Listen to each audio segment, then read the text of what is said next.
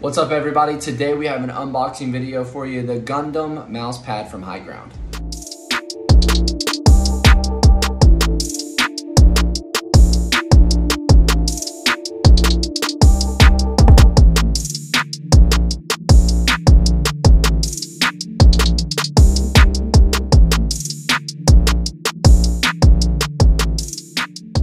I have to say this mouse pad so far is a 10 out of 10. A whole lot of area covered. It's soft. It sticks to the spot exactly where it's supposed to stay. And most of all, Ezio seems to love it. So it's a win, 10 out of 10. Let me know what you think.